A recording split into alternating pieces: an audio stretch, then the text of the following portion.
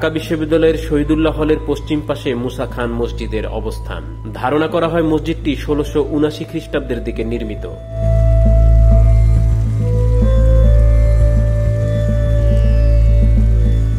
A H দানির মতে, এটি শায়স্তা খানের আমলে নির্মিত অথবা পরবর্তীতে মুসা খানের পৌত্র মুনোয়ার খান তৈরি করেন। এটার একটা ঐতিহাসিক গুরুত্ব আছে। এই মসজিদটির নাম হচ্ছে মুসাখার মসজিদ। মুসাখা ছিলেন ইসাখার পুত্র এবং এই এলাকাটি একসময় মুসাখার বাগান নামেও পরিচিত ছিল। ইসলাম খা যখন ঢাকা, রাজধানী ঢাকার আমি বলব, পত্তন করেন, তখন মুসাখার সঙ্গে যুদ্ধ হয়েছিল, মুসাখা পরাজিত হয়েছিলেন। তারা সবাই ইসলাম খান বর্ষতা মেনে নিয়েছিলেন।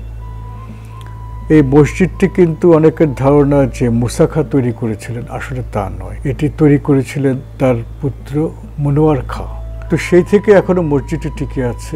আমিও একবার গিয়ে সরজমিনে দেখে এসেছিলাম। কিছুটা সংস্কার দরকার।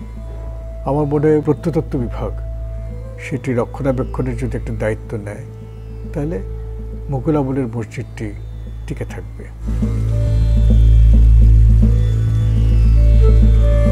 মুসা খান ছিলেন ভাটির স্বাধীন শাসক।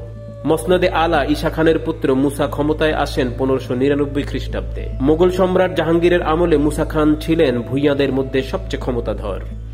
যদিও এটি দেখে বুঝার উপায় নেই, এটি ইশাখার পুত্র বারো ভূঁইয়ার অন্যতম মুসাখার সমাধি, যার নামে এই মসজিদটির নামকরণ করা হয়েছে।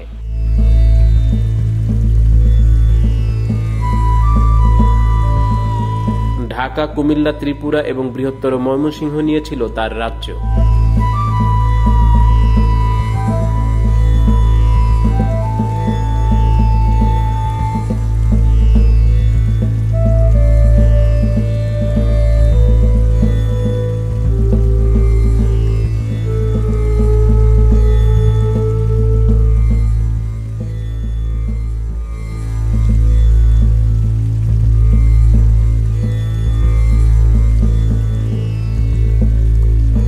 ষোলোশো এগারো খ্রিস্টাব্দে সোনারগাঁওয়ের পতন হলে মুসা খানকে মোগলদের কাছে আত্মসমর্পণ করতে হয়। ষোলোশো তেইশ সনে তিনি ঢাকায় মৃত্যুবরণ করেন।